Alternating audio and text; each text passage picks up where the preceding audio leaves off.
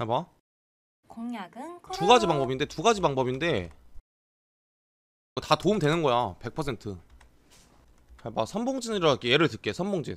그러니까 내왜이왜 이 두 개로 하냐면 그 결국에 갱플 이성 뽑고 폭파왕 들어가면 어떤 덱을 하든 1등이 된단 말이야. 어? 그러니까 이게 일단 개념을 알아야 돼. 다른 deck들 reroll deck은 절대 안 되고 reroll deck은 갱플랭크 8레벨 늦게 가 너무 늦게 가잖아. reroll deck 안 되고 그러면은 뭐 예를 들면 검사 뭐 육반군 뭐 이런 거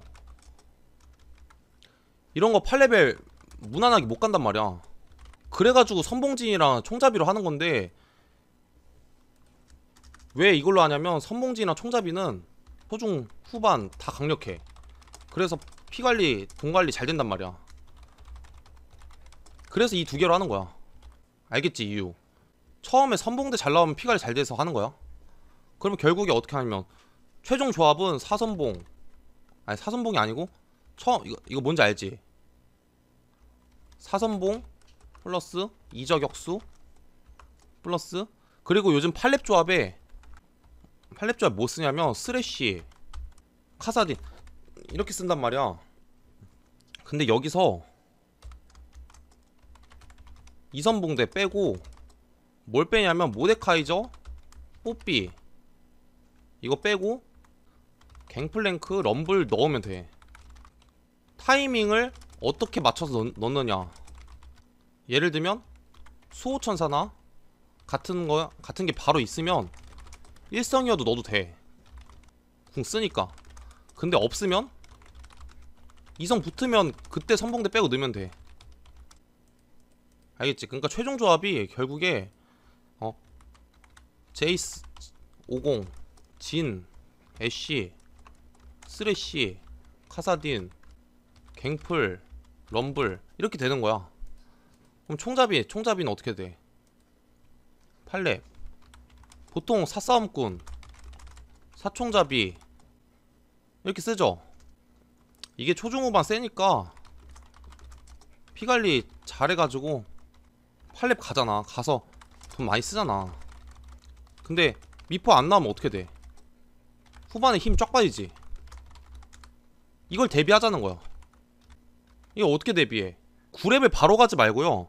8렙에 싸움꾼, 총잡이 류 전부 다 이성 붙이면서 갱플, 직스 이것도 같이 사.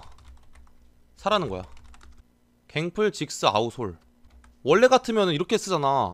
아우솔은 9레벨에 쓰니까 8레벨 그 돈으로 그냥 리롤이나 해서 뭐뭐 싸총 이성 붙인다. 이렇게 하잖아.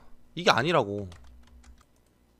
그냥 그냥 갱 만약에 그 미스포춘 안 나오면 그냥 갱플랭크랑 직스 집어넣고 직스 아웃솔 집어넣고 어? 여기서 사총잡이 빼고 사총잡이 누구 빼냐면 그레이브즈 이즈 그러니까 미포 나오면 이즈 빼.